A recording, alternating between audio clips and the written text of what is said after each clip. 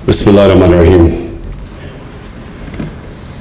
जनाब अरबाब शहजाद, आपको और आपकी सारी टीम को खराज तहसीन पेश करता हूँ।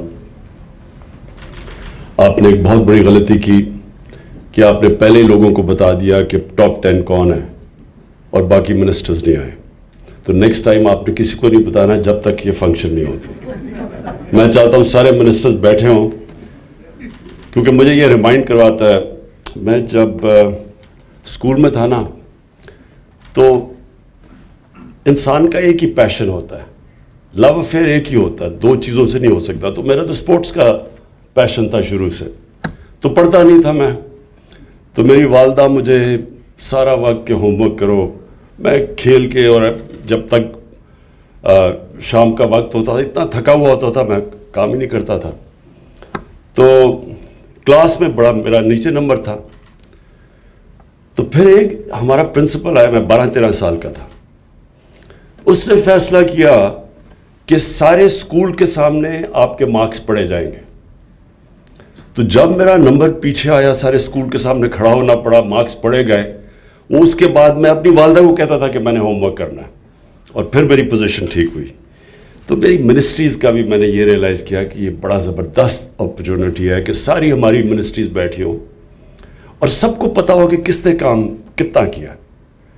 और जब ये जितना हम इसको पब्लिसाइज करेंगे और इंशाल्लाह ये टीवी पे भी आएगा तो ये इंसेंटिव्स मिलेंगे हमारी सारी मिनिस्ट्रीज़ को मेहनत करने की। क्योंकि जिस तरह मैं, जब किसी को पता ही नहीं होता था कि मेरे मार्क्स कितने आने हैं सिर्फ़ मेरी वालदा को पता चलता था और वो प्यार इतना करती थी, वो कुछ कहती नहीं थी। तो हम भी यही, मैं अपने आप मिनिस्टर्स को क्या कहूँ, अगर कोई मेहनत नहीं करता तो हम कहते रहते मेहनत करो, लेकिन फ़र्क नहीं पड़ता। लेकिन जब सबके सामने आप मार्क्स पढ़े जाएँगे, सज़ा और जजा होगी तो इन ये जो हमारा बाकी टेन्योर है, इसके अंदर मुझे पूरी यकीन है कि हमारी जो परफॉर्मेंस है, वो गवर्नेंस सिस्टम हमारा बहुत बेहतर होगा। दो चीज़ें मैं कहना चाहता हूँ। एक कि कोई भी सिस्टम कोई दुनिया का सिस्टम जिसमें सज़ा और जजा नहीं है वो कामयाब हो ही नहीं सकता। अगर प्राइवेट सेक्टर के अंदर हॉस्पिटल है उधर तनख्वाहें भी इतनी ज़्यादा नहीं हैं लेकिन वो उससे बहुत अच्छा परफॉर्म करता है गवर्नमेंट सेक्टर से जिधर गवर्नमेंट हॉस्पिटल है और वो उसके अंदर आ, लोग जाते नहीं हैं। प्राइवेट सारे जिनके पास पैसा हो प्राइवेट हॉस्पिटल में इसलिए जाते हैं कि गवर्नमेंट हॉस्पिटल्स के अंदर सजा और जजा का निज़ाम ही नहीं है। प्राइवेट सेक्टर के अंदर सीनियरिटी की एक एक पहचान है, लेकिन सीनियरिटी की वजह से प्रमोशन और पैसे और बोनसेस नहीं मिलते परफॉर्मेंस पे मिलते हैं। अगर शौकत खानम एक दोनों, चार पाकिस्तान में हॉस्पिटल्स हैं जिनको इंटरनेशनल रिकग्निशन है। जॉइंट कमीशन इंटरनेशनल की सर्टिफिकेशन है। वो सिर्फ़ चार हॉस्पिटल्स हैं, जिसमें आगा खान है अल शिफा है और दो शौकत खानम, पेशावर और लाहौर। और उसकी सिर्फ़ ये वजह है कि वहाँ जो अगर आप परफॉर्मेंस नहीं देते, ना आपकी प्रमोशन होती है और अगर आप इवेंचुअली वार्निंग्स के बाद निकाल दिया जाता है। और जो परफॉर्मेंस देता है, उसको उसके, उसका उसका उसका, उसको मिलता है बोनसेस मिलते हैं, तनख्वाहें बढ़ती हैं। तो हमारी अब पूरी कोशिश है कि हम अपनी मिनिस्ट्रीज़ को भी एक जब मैं शुरू में आया था तो मैंने बड़े रेवोल्यूशनरी आइडियाज़ थे कि एकदम चेंज ले आएँगे। लेकिन मैंने रियलाइज़ किया कि जो हमारा सिस्टम है इसमें एक सडन शॉक की कैपेबिलिटी नहीं ऑब्जॉर्व करने की। इसमें हमें आज तक ये इंसेंटिवाइज ही करके हम अपने आ, अपनी मिनिस्ट्रीज़ और अपनी ब्यूरोक्रेसी के अंदर पॉजिटिव चेंजेस लेके आएँगे। तो ये जो शहजाद अरबाब ने ये सिस्टम निकाला इसका और इसकी बड़ी केयरफुल इवेल्यूएशन करके अभी आपने उन्होंने तफसील में बताया कि क्या क्राइटेरियन था जिसकी वजह से आ, और मैं मुराद सईद की कम्युनिकेशन मिनिस्ट्री को ख़ास तौर पे आज कॉन्ग्रेचुलेट करता हूँ कि ये टॉप पे आए हैं सबसे यंग वज़ीर और सबसे बेहतर परफॉर्मेंसेस की। तो मैं जो आगे चाहता हूँ शहजाद आप आप मिनिस्ट्रीज़ को एक और चीज़ कहेंगे। जब आप कहते हैं ना क्वालिटेटिव परफॉर्मेंस कि परफॉर्मेंस मिनिस्ट्री कहती है कि हम ये ये करेंगे। उसके अंदर आप बैठ के जब उसको इवेल्युएट करेंगे कि वो क्या क्या चीज़ें करेंगे, उसमें जो सबसे इंपॉर्टेंट क्राइटेरिया और जो वेटेज देनी चाहिए वो इसको कि पाकिस्तान का जो नेशनल इंटरेस्ट है, उसकी तरफ़ कौन सी मिनिस्ट्री अपनी परफॉर्मेंस क्राइटेरिया से उस तरफ़ कौन लेके जा सकती है? और उसका सबसे बड़ा इंटरेस्ट क्या है? एक्सपोर्ट्स बढ़ाने में इंपोर्ट सब्सटीट्यूशन में। ये हमारा जो सबसे बड़ा इशू बना हुआ है कि हमारी गवर्नमेंट का और जो मुल्क के इंटरेस्ट है, उसमें कनेक्शन नहीं आया कि क्या मिनिस्ट्री कैसे परफॉर्म करेगी। इन अपने मुल्क को पैर पे खड़ा करने के लिए हमारी एक्सपोर्ट्स कैसे बढ़ेंगी इंपोर्ट सब्सटीट्यूशन कैसे होगी।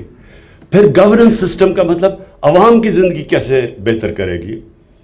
गुर्बत जो हम, हमारा असल चैलेंज है कि लोगों को गुर्बत से निकालना, वो मिनिस्ट्री क्या कदम उठा रही है आउट ऑफ़ द बॉक्स कितनी उनकी सोल्यूशंस है? एक तो है ना, सारी ट्रेडिशनली बनी हुई है कि हम ये ये करेंगे। लेकिन इंसेंटिव सबसे ज़्यादा दें कि out of the box solutions लेके आए।